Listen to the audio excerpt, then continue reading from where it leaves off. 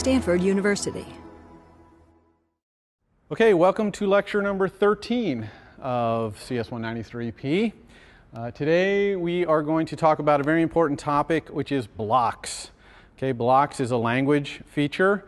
Uh, it can be somewhat daunting syntax, especially if you're not used to things like C function pointers, because the, the uh, syntax looks similar to that.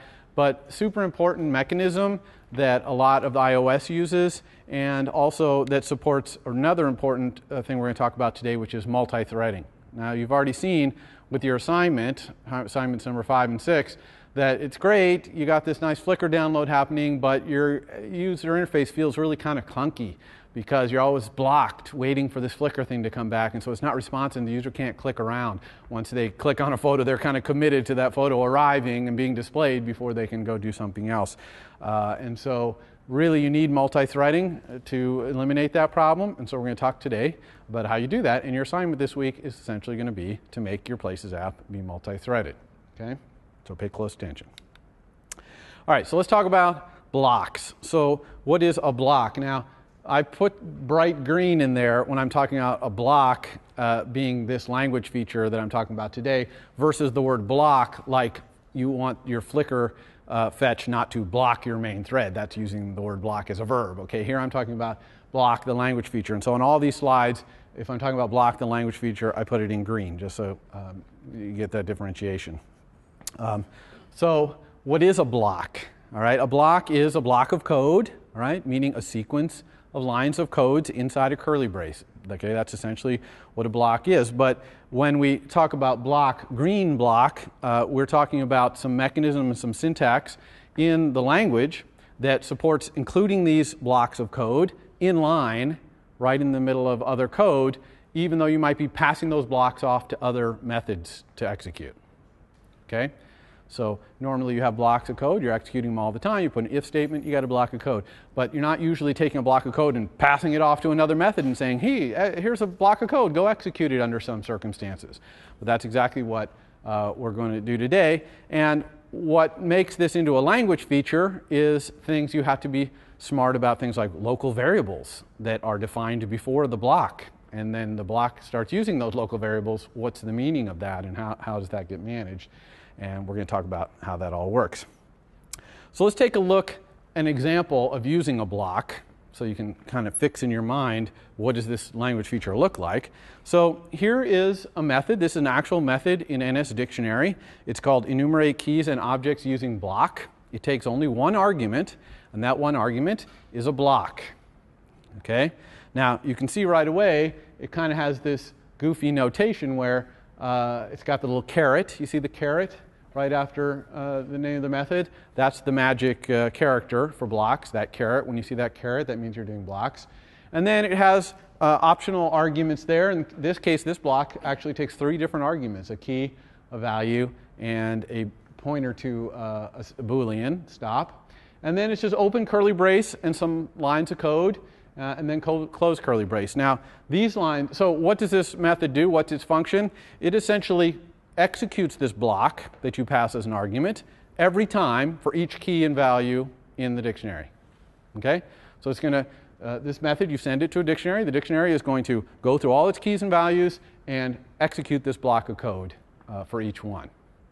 Okay? So that's pretty cool. But it gets cooler because the context of this block is the scoping of the variables and stuff is the method or code that you're calling this method from okay? And you're going to see what that allows you to do in a moment. So I have an implementation of it here, very straightforward. It just logs the value and key that was passed, and it also looks for a key called enough, all caps, and if it sees that key, then it stops, okay, by doing star stop equals yes. You see that third argument to our block, which is a pointer to a Boolean? I'm just going to dereference that pointer and put a yes in there. If I don't touch stop, it's just going to keep on calling uh, executing this block with each key and value. Okay? Question?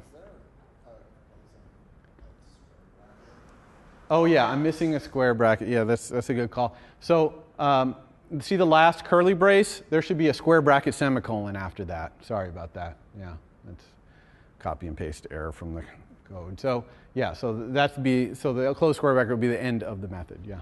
Why this change doesn't stop stop the enumeration? That's just how this method, enumerate keys and objects uh, using block, defines the use of its block, right? It passes you this pointer to Boolean and it just says, if you want to stop me executing this block, dereference this stop thing and make it yes. So it, that's just it, how it defines it, okay? Um, it could have other ways of doing that, but that's the way it decides to do it, okay? Um, okay, so yeah, the caret is the key. When you see that caret, that's the magical character that means uh, an inlined block here. Okay, so let's talk about the environment in which a method like this would be called. Okay, because you're, you're going to call it in some other code, a method in some other object or whatever. And you might have local variables defined in your method that you can actually use inside the block. So for example, here I have a local variable called stop value, which is a double. And I've changed my implementation of my block to stop not just if enough is the key, but also if the value's double value is stop value, my local variable. So you see how I've used a local variable in a block of code that I'm passing off to someone else?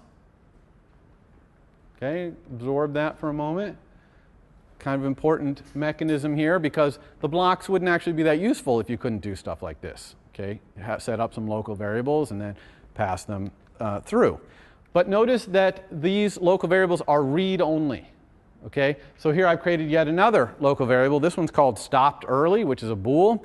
And what I want is if I stop early, either because of enough or because the value is double value of stop value, then I want to set a local variable to let myself know, oh, I stopped early okay? But I can't do this, okay? This is illegal, and that's because all local variables like stopped early and stop value are read-only. They're essentially copied at the beginning of the block's execution, right? The, whatever the value is when you pass this block off to this other method, it copies all the local variables that are needed, and they're read-only, okay? So you can't change them. Unless you put this magic keyword underbar underbar block in front of it. Okay? Now, this is really kind of freaky, and you want to be careful with this. And I almost recommend trying to design your code so you don't need underbar underbar block. Uh, the reason for that, uh, and by the way, all that does is it makes it so that that local variable can be changed. And not only can it be changed, once it's changed, when the block is finished uh, being used by enumerate keys and objects using block, you can look at it. Okay, so its value gets changed in the outer scope too, as well as inside the block. Uh, now you might think this is really, really useful, but one thing you have to be a little careful of is that that block you pass may not be executed right away. Okay, because you're passing that block off to the method dictionary. In this case, it is going to be executed right away because that's the semantics of this method. But I'm going to show you in the next slide or two a, a situation where you're going to pass a block off to uh, an object a, as a method argument, and it's not going to execute it until sometime later. And so you, this code, if stopped early, wouldn't work because uh, the block hasn't even been executed by the time the thing returns.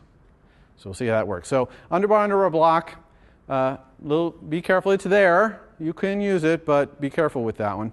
Um, there's another way that you can have variables changed inside your block and have them affected, which is if they're an instance variable.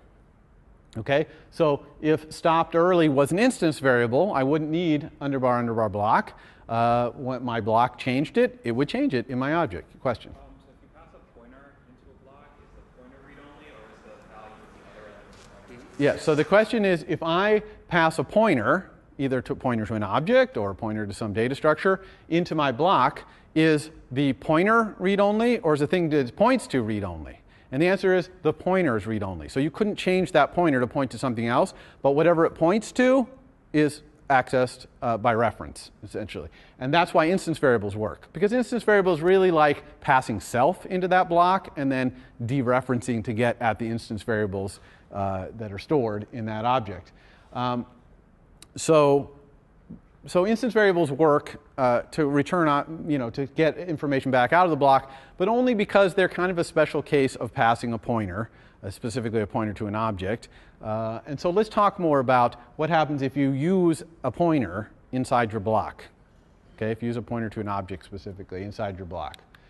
Um, so here's a pointer, stop key. So instead of having enough be a literal in there. I've changed it now so I have a local variable stop key, which is an NS string, and I create it by taking enough, which is capitalized enough, and doing uppercase string, which makes it all uppercase. Now, I'm just doing that to make you realize that stop key contains an auto release string, right? Because we know that uppercase string is a method. It doesn't have new or alloc or copy in it, so it returns something that's auto released. So I've got this auto released object, stop key, and I'm using it inside my block. Now, what's important to understand is that that object, stop key, gets automatically retained for you. Okay? So a retain gets sent to it. And well, now, why does that matter? Why do we need stop key to be retained? You might say, well, this block executes and the function's not over yet and uh, comes back out the other side. Everything should be fine.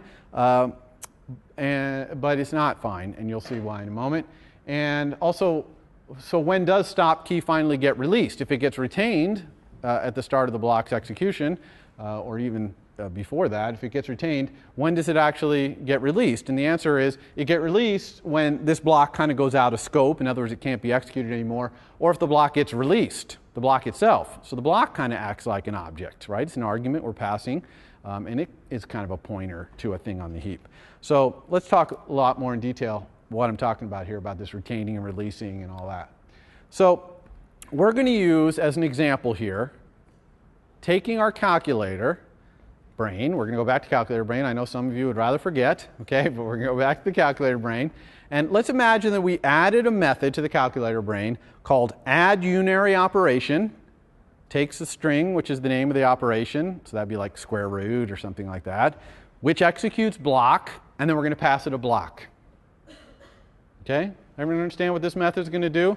We're going to basically tell our calculator brain, here's a new kind of operation that you're going to support.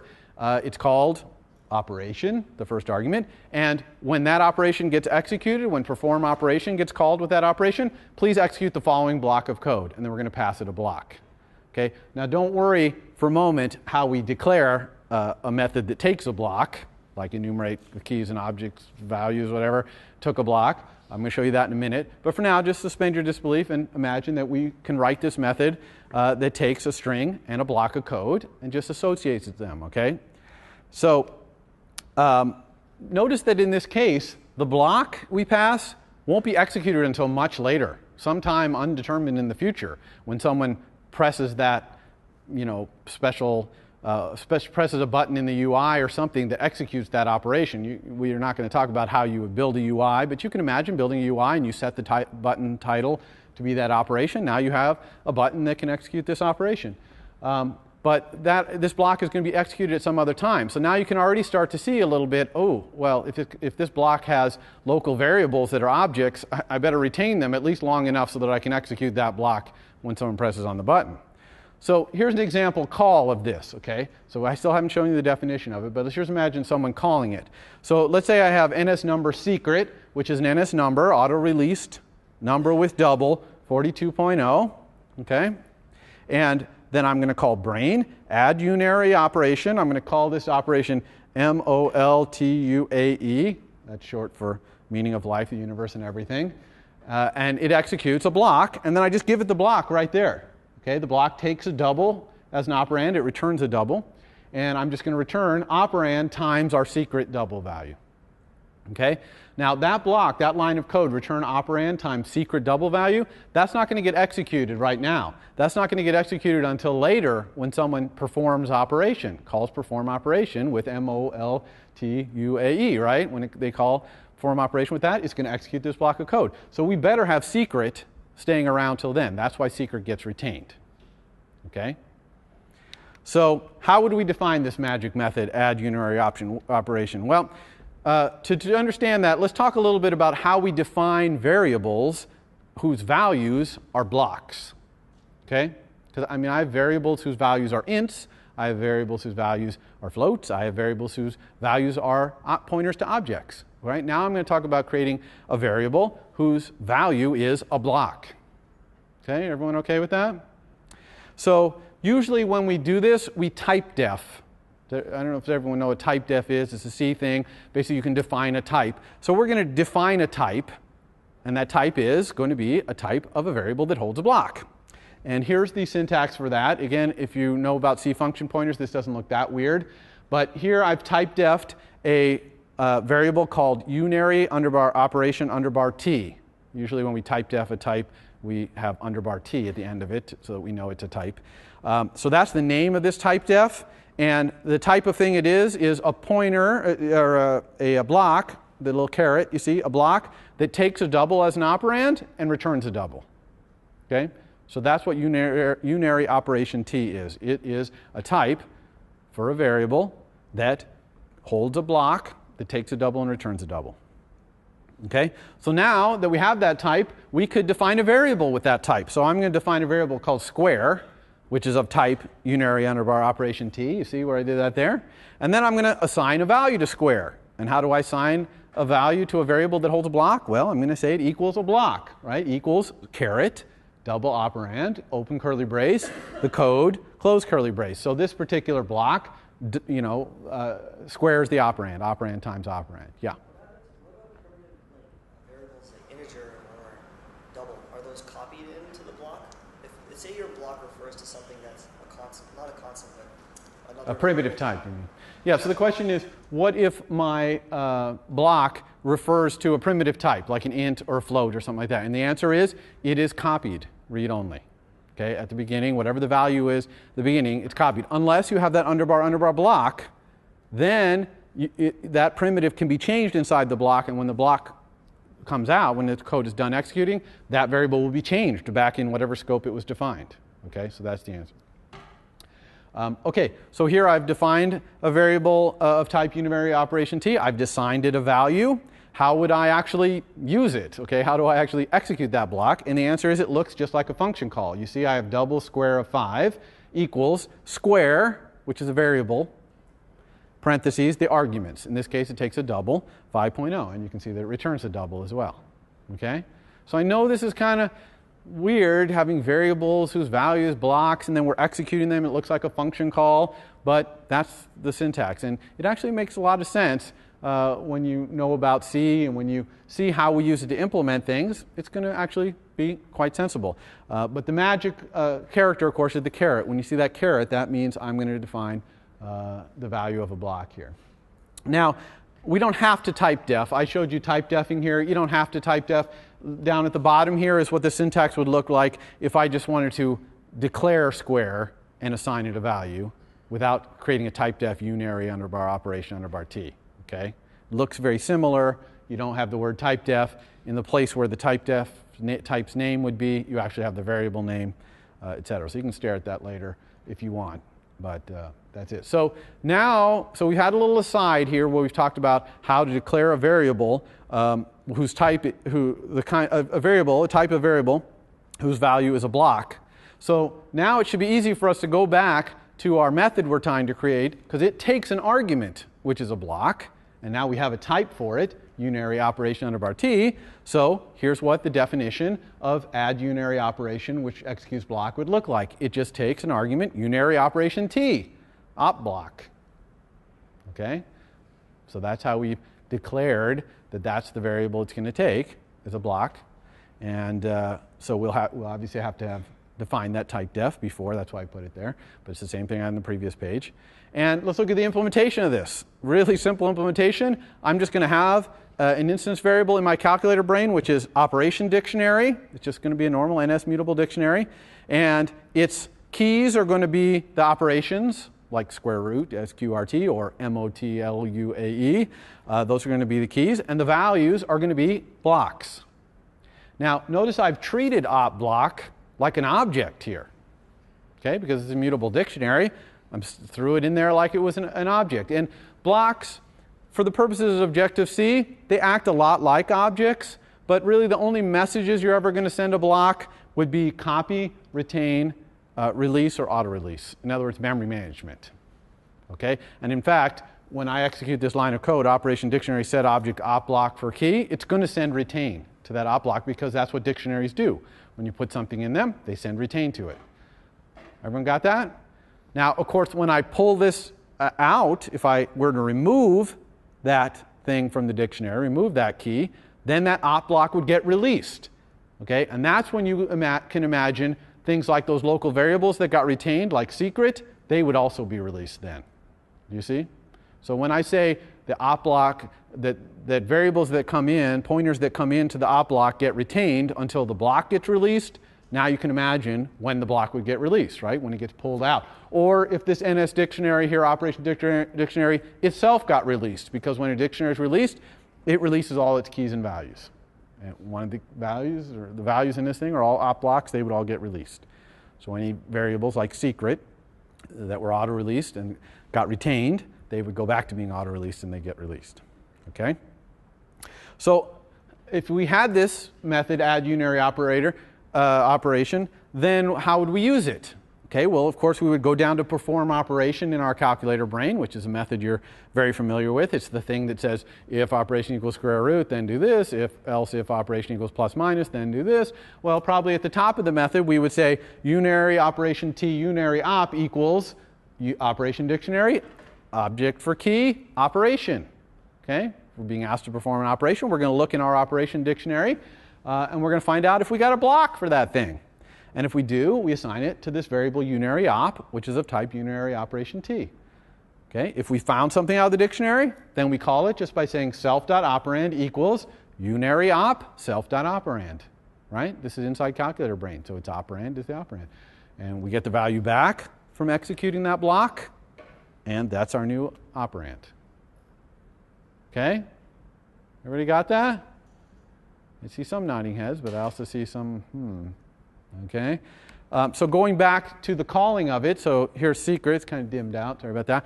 But um, so here we had secret, it was a number 42, and we said add unary, unary operation, right? The operation name and the block, defined what the block is. So if we were to have called this, then if we called perform operation M-O-T-L-M-O-L-T-U-A-E, then it would execute this block of code, and secret, which is 42, okay, would be fine because it got retained. Okay, so it stays around and it would execute this code and return 42 times the operand. Okay? So hopefully this example will help you understand what I mean by the retaining of objects that go in there and that the op blocks kind of are like objects. They act very much like objects, at least from a memory management um, point of view. Now, as you might expect, if you access an instance variable inside your block, then self will be retained. Okay? That's because your object might call add unary operation, then someone might just release your object. But your object still needs to be around if, it's, if this block wants to use an instance variable, so it'll get retained by this block. Okay? Um, if all this kind of you're a little shaky, like what's really going on, the key thing to note is it does the right thing 95% of the time. It does exactly what you would expect it to do most of the time, okay? And that makes it really easy to write code. So, um, so let's go back now to looking at blocks as arguments to methods. Uh, a lot of times, if you have a block which is an argument to a method and the object is not going to keep it around, like add unary operation did, so for example, like enumerate keys and objects using block, it's going to execute that block right in there. Usually they won't create a type def. So this is, if you look at the documentation for enumerate keys and objects using block, this is what it looks like.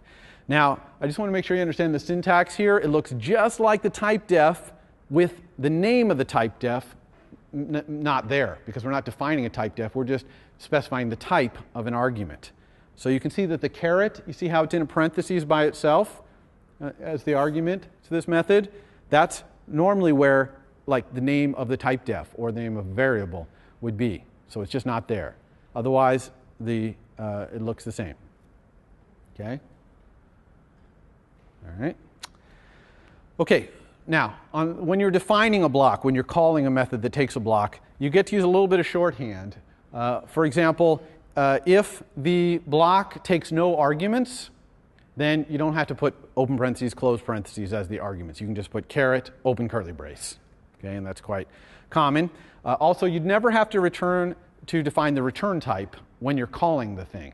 So you notice here, when we're calling add unary operation and we say caret double operand because we're going to have a block here, we don't say double caret uh, double operand. In other words, we don't specify the return value. Uh, the return value can be implied by the compiler from whatever you return out of the block. Okay, the compiler will type check, check that against the thing you're passing it to. Um, here's another example of a block being called. This block, uh, that's passed to animation with duration, uh, t- takes no arguments and it returns no arguments. Uh, and so it's just caret, open curly brace, the code, close curly brace. Right? No parentheses at all in that one. Okay? All right, so that's the syntax. You know, it's kind of uh, might be a little, uh, little hard to understand, but if you stare at it after a while and after you see it used, which I'm going to do, do it in a demo today, uh, you'll start to, it'll start to become more comfortable with it. All right, so when do we use these blocks uh, in iOS? All right, you already saw on a previous slide we use it for enumeration. Okay, so there are block methods on NSArray and NSDictionary, uh, even NSString. You can say to NSString, uh, like let's say you had a big NSString that was a file that you loaded in, read, read it from a file, and it had a bunch of lines. There's an NSString method that says enumerate all the lines of this big string object one by one and call this block for each line. So the argument would be an NSString with that line from the file. Okay. Uh, view animations, you saw that as the last example I used on the previous uh, slide. We're going to talk about view animations in a future lecture. That's a way, a mechanism for animating the opacity and the um, affine transform of a view. Uh, that stuff is all done with blocks, and we'll show, talk about how that's done. Uh, sorting, we've already seen where we specify selector for sorting like when we're doing fetch results controller, we'll specify here's a selector. You can imagine you have methods that do sorting that instead of specifying selector to compare objects, it just says sort using this block. And the block takes two arguments, which is the two objects to compare, and it returns uh, an NS comparison result, which is it's ordered the same, ordered greater than, ordered less than. So you can imagine using blocks there. Uh, notification is a common one. We talked about notification actually way back in the very first lecture. I, it's kind of the radio station way of having objects communicate. Uh, we will be talking about that uh, in a future lecture. But you can imagine there, you could register for a notification where the radio station, when it broadcasts, executes a block. Okay, a block is provided by some object it doesn't know who, but somebody registers to receive a notification and gives you a block, and it executes it when that notification happens. Um, same thing, error handlers, easy to imagine that. Incompletion handlers too. So do this thing, and when you're done, execute this block. Okay, because this thing I'm asking you to do might take a while. All right, so that's using blocks. The most important, well, not the most important, but a very important use of blocks, however, is multi threading. Okay, so I didn't show you all that block stuff for, for nothing when it comes to multi threading. Uh, we're going to do our multi threading by essentially queuing blocks up to execute in other threads. Okay, that's fundamentally how we're going to do multi threading. So let's talk about the multi threading. The multi threading is uh, you, done with an API. It's a C API called Grand Central, Grand Central Dispatch okay, which is hard to say but easier than NS fetched results controller, which I had to say five times fast to prepare for this lecture, but should have done it for last lecture. Uh, anyway, Grand Central Dispatch is a C uh, API for multi-threading. Okay, the idea is that you're going to queue up blocks to execute on other threads, and by queue up I mean queue like uh, you're going to get in a queue uh, or a computer science queue. A queue means you put things in there, and the first things that go in are the first things that come out. But you can put a lot of things on the list. And uh, so you're going to create this long queue or short queue of blocks. And the system is going to grab those blocks off of the queue and execute them in another thread. It's as simple as that. Now, that provides, and it turns out, an enormous amount of power, and it makes your code really understandable and easy to write, and you're going to see that as well. Uh, there are some queues, global queues in the system, that when you put a block in there, it could execute at any time. Okay? It's almost like it's not really a queue because everything on the queue can be pulled off and run concurrently, all at the same time. Okay? In multiple threads. Um, we're not going to talk about those today. We're going to talk about serial queues, which are you put the blocks on the queue and it executes them one at a time in order, right? Serially, one at a time. It can't, it can't grab them all off and start them all running at the same time. Uh, so that's serial queues. That's what we're going to talk about uh, today. But the multiple queues is similar. It's just that there's these global queues with, which run with a certain priority, um, and you get the global queue and work on that. But serial queues usually create them, although there are some serial queues that are special, like the main queue, right, which is where all your user interface code runs, and we'll talk about how to deal with that. So. Um, yeah, so the system runs these operations from the queues in separate threads. Why is that a good thing? Well, obviously, if you had a multiprocessor, that'd be great, okay? Because it would be running these things in different threads, it'd be using different processors. Even a multi core uh, processor would be great for this because it could queue up multiple things to run. Um, but really, on the iPhone, what's really great about it is when a queue blocks, other queues still run. Okay? So now imagine your Flickr app and you've got a queue which is doing Flickr downloads and it blocks, waiting for Flickr to respond. Your main thread is still running, still taking touch events, all that stuff. And that's the advantage here of threading here. Okay? And that's a big advantage to have it so that you can fork off these blocks that run in other threads. And if they block, not green block, but block like stop, then they're not stopping the other queues. The other queues keep on running. So you get this nice responsive uh, user interface, uh, and you can still fork off things that are blocking. All right, so how do we use this to our advantage? Obviously, it's obvious how to do it in places. Uh, also, we could uh, use it to do time consuming activity concurrently. So our main thread, we never want it to block, but it sits idle a lot too because the user just staring at their phone. They're not doing anything. That main queue is not doing anything. So you'd like to have other queues off doing some intensive operation if you had some big amount of work to do, right? So you can imagine both those things would be valuable. All right, so what are the important functions uh, in this C API? There's about 20 functions, eh, maybe even more than that, maybe 25 functions, but uh, these five uh, are the ones that are most important to you and that kind of introductory level to how to use these things uh, and that you'll need for your homework. Uh, so the first pair there are creating and releasing queues. It's very easy to create a queue. You just call dispatch queue create. Uh, it really only takes one argument. It takes two, but the second one for now is always null. Uh, but the first argument is a const char star, not an NS string, const char star. Okay? And that's just a label that's used, for example, in the debugger or other performance tools to name your, your queue. Okay? Because you got this queue, it's executing these blocks, you want to look at it in the debugger, you want to be able to recognize it. And so this is just a name. You can give it any name you want. All right? It's nice to give each one its own name so that you can differentiate them if you're in the debugger. Um, and then release, you have to release them okay? Because obviously creating it, allocating memory for it, uh, when you're done with it, you have to release. Now, the thing about releasing a queue, though, is you can release a queue that you created, but it's not going to actually go away until the queue is empty, okay? Until all the blocks have been taken off the queue and executed.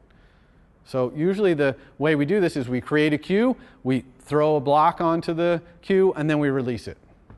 And then later, when the block finally runs, which could be any time in the future, uh, then, and the queue gets empty, then it'll actually get released. Okay? So the second important method here is putting blocks in the queue. Very simple also. Dispatch async. There's also dispatch sync.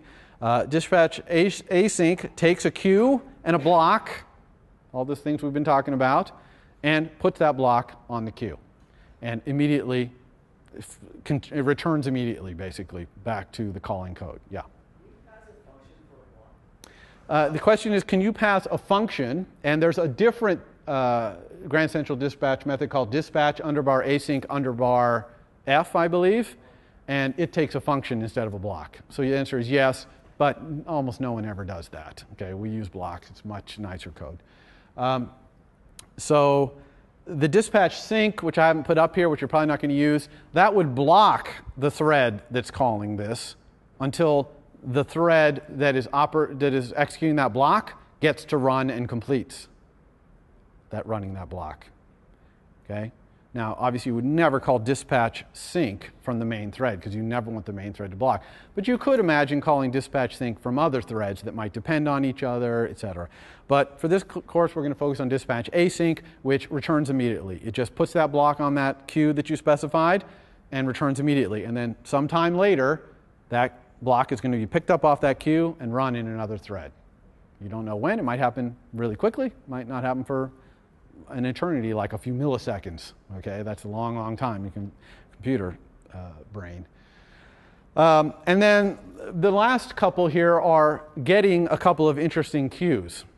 Uh, one is the current queue, so that's the queue that this code is running on. Okay, the code that is that's calling this function dispatch get current queue. What queue is it running in? Is it running in the main queue or is it running in some other queue, whatever? So it returns that queue, and I'll show you in the demo why you might want to know that. And then there's also the very important get main queue. Okay, and you need the main queue, for example, if you want to execute a block that does anything with UIKit, almost anything. All right, so if you're going to set some value in a scroll bar, scroll view, or uh, UI button title, or anything like that, you have to execute that block in the main queue. Okay, you cannot execute it in another queue. It's not thread safe. Okay. Uh, all right. So, what does it look like to call these? So here's view will appear. Uh, you probably have a view will appear that's close to this. Might have a couple extra more lines of code in there, but this is the basic idea, right? You fetch your image data for your photo. So I'm assuming that photo here is an instance variable that has, an, say, let's say a subclass of NSManage object, okay, which is a photo, and it's got a method called URL, which returns the um, string, uh, which is the URL for the image for this photo. So here I'm getting the image data by calling image data for photo with URL string and Flickr fetcher. That's going to block. That's bad. Uh, then when I have the data, I create a UI image, set it as the image views image, reset the image views frame to match it, and then set the content size of my scroll view to match as well. And voila. Now, I'm doing this every time in view will appear, which you know, may not be super uh, efficient, but uh, maybe, maybe not. But anyway, uh, the bad thing though is this blocks. So every time this view is about to appear, it blocks for a second or so while it goes to Flickr. And so we want to fix that. All right, so how do we fix that? All right, so we're going to take this block of code that we want to execute, and we're going to execute it in a different thread. Okay, so here's how we create the other thread. I'm going to call it download queue. I just say dispatch queue create. I'm going to give the name Flickr downloader to the name of this queue. So if I looked in the debugger, that's what would be called. Be called, and I pass null as the second argument. And then I just do dispatch async to the queue a block, which is that block of code I want executed. It's as simple as that. So now so you see how the combination of the blocks uh, syntax, simple syntax, and how it can um, uh, you can inline the block makes it so that your code changes very little when you want to fork off a thread to do something. Okay? Now, this is not uh, good. Okay, this code, we're not done yet because it has a problem. I told you only uh, that UIKit code can only be executed in the main thread. But here I'm forking off this thing to download queue. That's a different queue than the main queue. And I'm calling self.imageview.image and self.imageview.frame, self.scrollview.content size as bad. Okay, don't want to do that. Okay, because that's not the main thread. So how do we fix that? Well, let's just take that block of code and let's execute that in the main thread. Okay?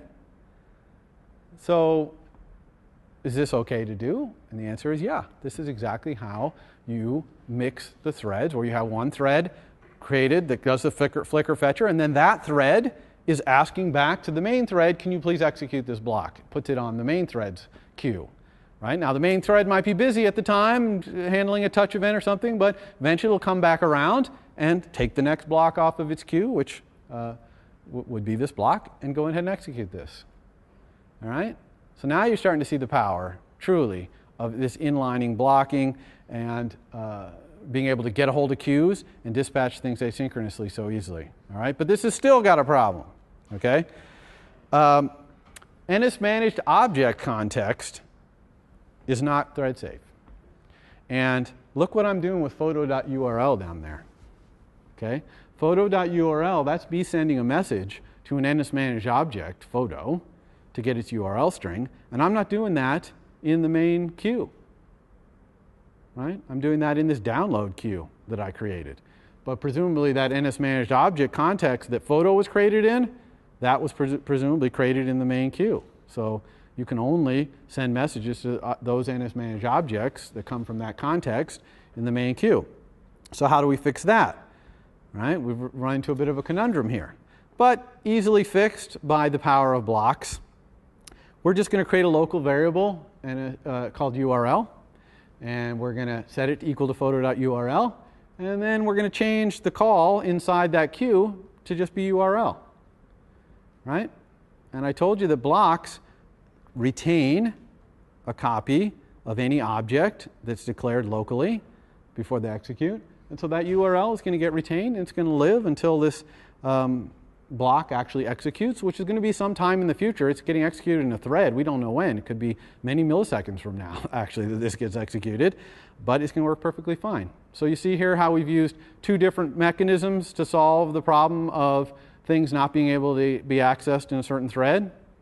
Right? One we did using by creating by having a thread send message back to the main queue, and another one we solved just by having a local variable at the beginning. But there's still one more problem with this, which is that this code leaks. Okay? It leaks that queue. I said dispatch queue create, and I never release it. So down at the bottom here, I need to say dispatch release, download queue. Now, dispatch async, I told you that returns immediately.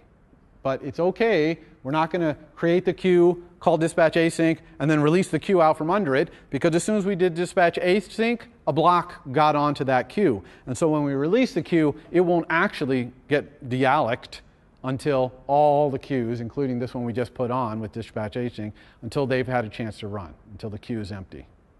Okay? So that's it. That's how we do it. So the demo that I'm going to do today is I'm going to take Shutterbug, which we worked on last time, and I'm going to add a photo view controller to it, and then we're going to make it so that it doesn't block the main thread. Now, watch carefully because this is part of, not all of, but part of your assignment that you're going to have on Thursday. You're going to have to do pretty much this exact same thing. Uh, and so that I can get out of here, um, the I said the next homework will be assigned next Tuesday, due the following Monday. Mm, not necessarily. Uh, I have to still decide whether we're going to do that because Thursday lecture um, is not. I'm not going to be covering Core Location and map kit until the next lecture, and so eh, I may or may not do that. So it's possible uh, that your homework will be normal Thursday to Wednesday, but it might be that I sign it Tuesday and it's due the, the Monday after. We'll, we'll let you know. All right, so let's just go back to Shutterbug here. Yeah, I had this.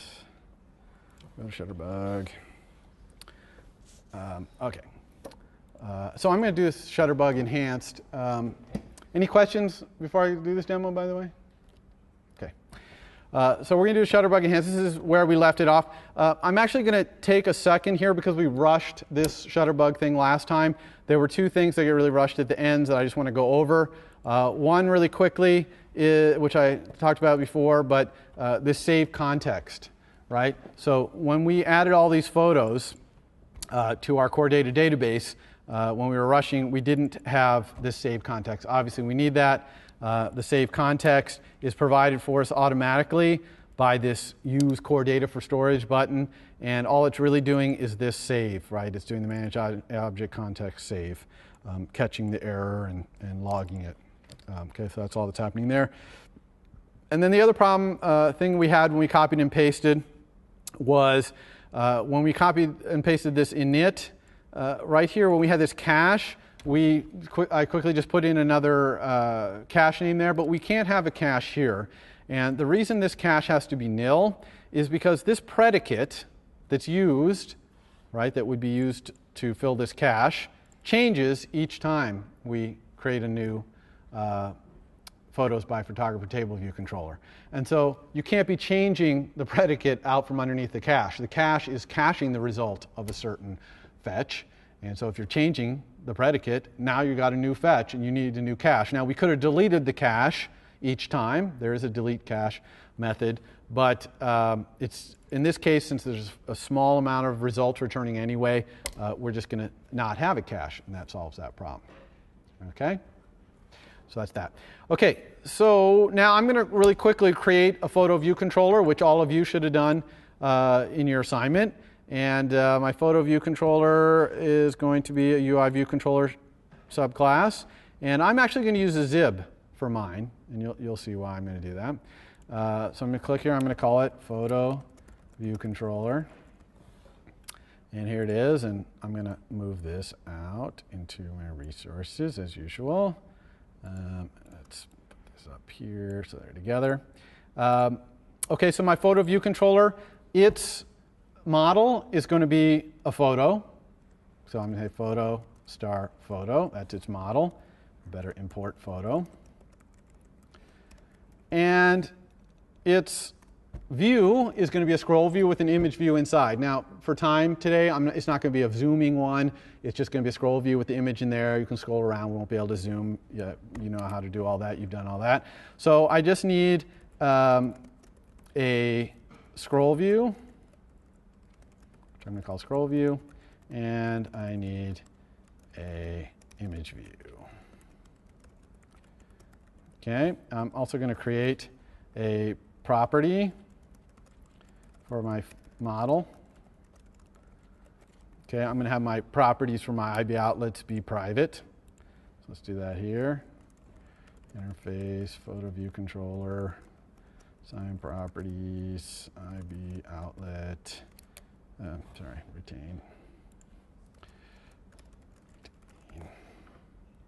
So we'll do UI scroll view. I'm kind of doing this uh, going to the time to do this just so those of you who are still kind of a little unclear on this whole how to add properties and stuff, we'll just see this happen. Um, it's not really a lot of code, but so here I've added a private thing. I'm going to a private um, private outlets. I'm going to synthesize them in image view, and I'm going to synthesize my photo as well. And then let's do our mem memory management down here. We're just going to release our scroll view. Let's uh, release our image view. And let's release our photo, our model. And then in this, we're going to have self.scroll view equals nil and self.image view equals nil. Okay, so that's just standard operating procedure of creating a view controller. Um, and uh, now let's go over to our xib file and create that UI. So I'm just double clicking here in Interface Builder. Let's move this over, make some room here. Um, so this is really straightforward. I'm just going to grab a scroll view. Where's my scroll view? It is right here. I'm going to put that in here. I'm going to have it fill the whole space. Uh, and then I'm going to grab an image, image view and have it fill the entire scroll view. Now, one thing when you're dragging views out like that, especially if you're putting a view inside another view, there's a useful way to look at it over here in this view, which is uh, instead of looking at it in this mode, look at it in this mode. And you can actually see the view hierarchy by clicking here. So I can see the image view is inside my scroll view, which is what I want, right? I want my image view to be a subview of my scroll view because the image view is going to get scrolled around. Um, I can also use it to connect here too. So for example, I can connect this scroll view right here, and I can connect this image view right here. Okay, so that's that. The only other thing I need to do here is implement view will appear to display this, and then implement the pusher that pushes it. So let's do view will appear. So view will appear is pretty straightforward. Let's go ns data uh, image data equals Flickr fetcher. Better put Flickr fetcher up here. Oops. Import Flickr fetcher. And it's called, what's that thing called? Image data for photo with URL string, photo.url. Uh, then, make sure I don't forget anything over here. Uh, let's just create our UI image by saying UI image, image with data. And then let's make our image views image be that image. And we'll make our image views frame. This is the code we saw in the um, slides. So 0, 0, image dot size dot width, image dot size dot height. Sorry, this keyboard is quite different from mine. And then scroll view content size equals the image's size. Okay, so hopefully, let's see, did I type anything? I got type something wrong there. Uh, oh, sorry, it's not called URL. It's called image URL. Okay, so that's that. And the only thing left to do is in our photos thing, instead of just uh, logging the photo here, I'm actually going to push. So I just need to say photo view controller PVC equals photo view controller alloc init. You can see I'm a fan of doing that PVC type thing. Probably not the best name, but uh, photo view controller. H. Uh, okay, we need to set the photo equals photo, and then self dot navigation controller push PVC animated yes PVC uh, release. Okay, so there's a quick review: view controllers, model, view, xib files, pushing, etc. Uh, so let's go and see if we made any mistakes here. Okay, so here we go. I'm using Shutterbug Enhanced, which has these sections in there, which is kind of nice. And we click on something. We have a couple photos here. We load it. We get a picture of Gabby here. Um, and we're, uh, here's oh, village in Laos. Pretty awesome. Um, so this is good, but again, the problem is we're, you know, we're blocking our main thread, both to start and to do the photo. And you know, this is pretty good, but you can still see there's a little bit of halting there, right there. And for example, if I did this and then go back, uh, if it didn't load, it wouldn't, uh, you know, it would block. So let's go ahead and put in some threading code to make it so that we have something works a little nicer. Now, the first thing I'm going to do uh, to make this work is when the, the user clicks on a photo to, to display it, I'm going to put up a little spinner. A little, instead of having a, a blank view, and in fact, let's do this real quickly. Watch this. Let's, uh, yeah. So instead of having a, a blank view when I click on a photo and it hasn't loaded it yet, I'm going to display a little spinner. All right, so let's go back to Interface Builder, and I'm going to put that spinner in there. All right, find space for this. And there's a built-in one in UIKit. It's called Activity Indicator View. You can see it right here. I'm just going to drag it out, put it right here. One thing I want to make sure is that it's not a subview of the scroll view because I don't want it scrolling around. I want it to stay in the center. So I'm going to go down here and check that. And in fact, it put it as a subview of the scroll view. So I'm going to drag it out to be at the same level as the scroll view. Um, the other thing about it is uh, I want it to stay in the center, so I'm not going to have it hooked to an edge. All right, I'm going to stay in the center. And then the last thing I want to do is uh, when it's not spinning, I want it to hide itself. I don't want it to be on screen when it's not spinning. And that way I can just tell it to start animating or not, and it'll spin or not. Uh, let's also create uh, the proper properties for it. So IB outlet UI activity indicator view, I'm going to call it spinner. And uh, since we uh, are running short on time, I won't create a property for it, but you know how to do that just like we do the other things. So let's go back here. Let's hook it up like this, spinner, save. Okay, so now I have this spinner that's on screen, and when it's running, it's going to be up there spinning, and when it's hidden, it won't be. All right, it won't be on screen. So let's just dive right into how we would do this. Now, one thing I don't like about the way we've implemented this is we're doing this Flickr fetcher fetch in photo view controller. Okay, photo view controller's model is a photo. Really, we should be getting that image data from that photo object, right? So I could like I could go over to photo, for example, I could make uh, a method ns data image data, okay, and it would return the image data, and it could do the Flickr fetch. All right, and that would probably be cleaner code. So I wouldn't, because this image data really belongs to this photo object, it's not part of this photo view controller. But there's a problem with this API right here. If I do image data, the problem is that thing wants to fork off a thread to get that image data. And what's it going to return to me here? It's going to have to just return nil. Now, the next time I call it, maybe that thread has run and it won't return nil, but uh, there's nothing I can do here to return the image data unless I'm going to block. And I don't want to block. Does everyone see the problem? Okay? So this is where API design comes into place. So really we need a different kind of API here to do this instead of just give me the image data. And so I'm going to propose this API. So you're going to watch this. So I'm going to say, I'm going to have void, and I'm going to say process image data with block.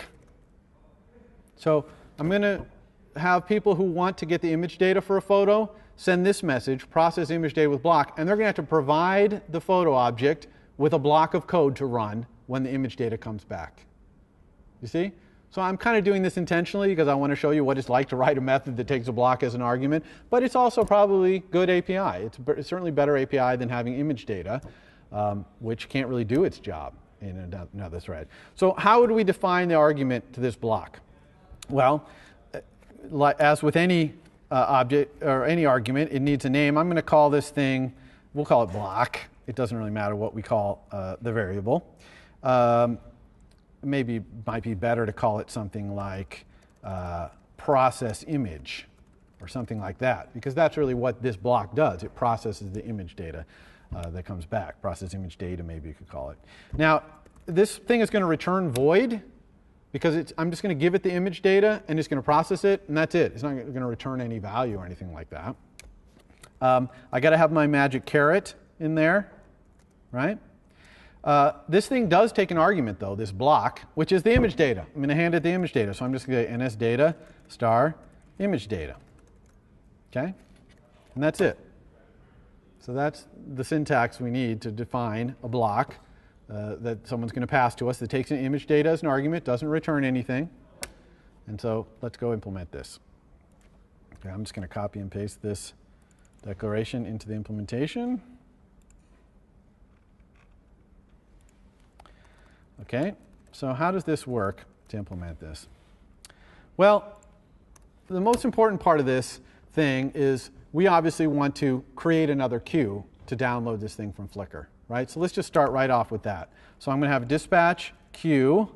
This is the type of a dispatch queue. I'm going to call it download queue. And it's going to be dispatch queue create. And I'm going to call this Flickr downloader in, oops, downloader in photo. That way I'll know it's, in case there's a Flickr downloader somewhere else, this is the one in photo. And we pass null as that argument as always. Um, now, what do we need to do inside of this queue? Well, we just need to do that Flickr fetch. And when we get the data back, we're going to call this block that the user provided for us. So we just say dispatch async, dispatch underbar async. And the queue is the download queue. And the block is going to be the following. Oops. All right, no L. okay, so the block is just going to get that data from Flickr, right? Image data from Flickr fetcher, uh, image data for photo with URL string, and this is self.url string, string. Self. Dot, yeah, what is it? Image URL. A self.image URL. And then we're just going to execute that block. Okay? Now, that block that we execute uh, we could just say process image, image data. Right? So this would actually be fine. Is there any problem with this? Yeah. the block, does the block retain self? Yes. Because we're accessing an instance variable here in self, self.image URL, self is just like any other object, like secret was, it will get retained and released later. Um, so there's two problems with this, by the way. One is we need to do dispatch release, okay, because we don't want to leak that queue, but that's a minor problem. The bigger problem is the context in which we're calling process image. Okay, process image is a block given to us by anybody. Could be anybody. All right? We want to make sure when we execute their block, we execute it in the same queue as they called us. Do you see why? Because that block might have NS managed objects being accessed in there. It might have UI in there. We got to make sure it's in the right thread. Now, we could just put it, execute it on the main queue, but that wouldn't be right either. because maybe this caller is calling us from another thread, not the main queue, and he has his own NS managed object context, and he doesn't have any UI code in there. So he's just providing us a block. But we do need to execute this in the caller's queue. And so here's how we do that. We're just going to create a variable here, dispatch queue, and this is going to be the caller's queue. And we get that with the method, message, the C function I talked about called get current queue. Okay, so that's going to get the queue that is executing this method, process image data with block. And then down here, instead of just calling process image, I'm going to say dispatch async to the caller's queue a block which does process image.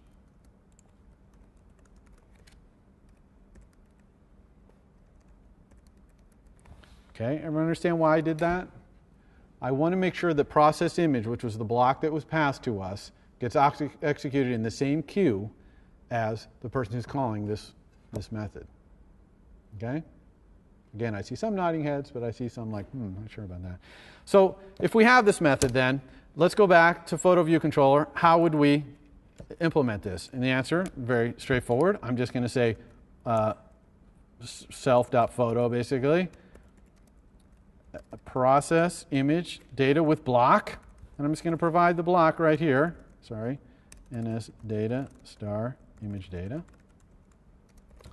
Okay, I'm just going to do this. Okay, and we don't need this anymore. That's it. So now you can see why I want to execute this block that I'm passing to process image data in the same queue that I'm in, because it, clearly in this case it's the main queue where I'm executing UI code. Yeah. Oh yeah, sorry, I always do this. The compiler catches it for me, but yeah, close square bracket. Okay.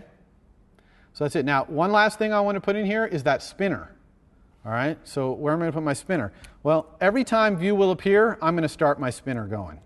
Okay, and there's a method in spinner called start animating, starts it going. And then I'm only going to stop the spinner when I've got the image data loaded up and it's in my scroll view. So that's here, spinner, stop animating. Everyone got that? Why, how I'm doing that spinner?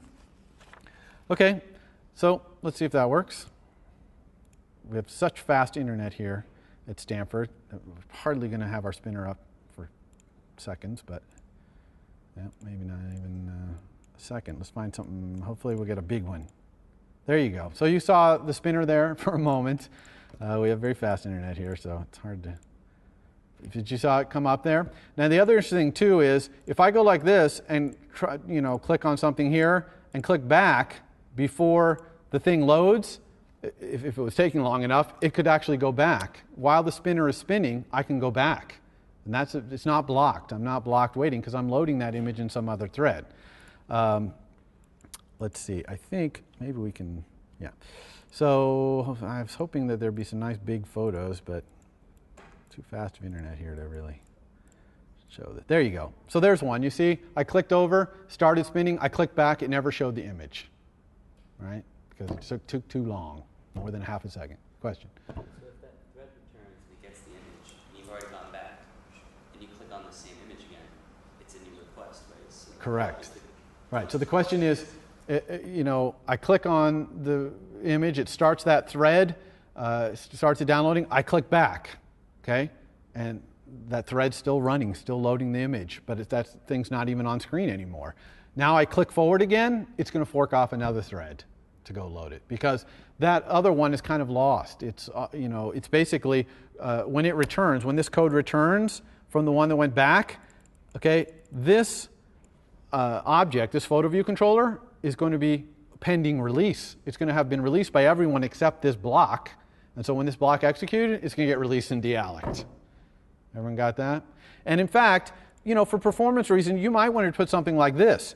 If self.view.window, then put the image on. In other words, if I've gone off screen, remember we're in view will appear here. If I've gone off screen, don't even bother doing this. It's a waste of time. because I'm not even on screen. Now, if I get put back on screen, it's going to do the thing again. So this is probably not great code in terms of caching the results and all that, but again, we're doing a demo here on the fly. We're going to write so many lines of code. You could imagine being smarter about whether you already have the image or not and not constantly loading it every time a view will appear. Okay? Any question about that? So that's all we're intended to show you today about this. Um, the key thing to get out of this demo is how we called this function, right, that took a block as an argument, and how we implemented this method that uh, took an argument. There's one other problem with this, by the way. Let's go ahead and fix this real quick, which is this self.image URL. Same problem I talked about in the slides. Self is an NS managed object. Okay, we cannot be calling methods on an NS managed object in the other uh, thread. So this we would want to change to URL, and we would want to have a local variable here, NS string URL equals self.image URL.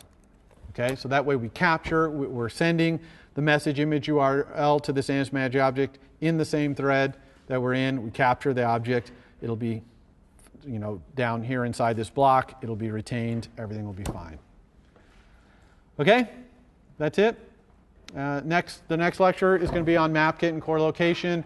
Um, and in the meantime, we're going to have uh, Stanford only people. Uh, we'll have uh, this thing about final project guidelines and all that stuff uh, on Thursday. Okay, see you then. For more, please visit us at stanford.edu.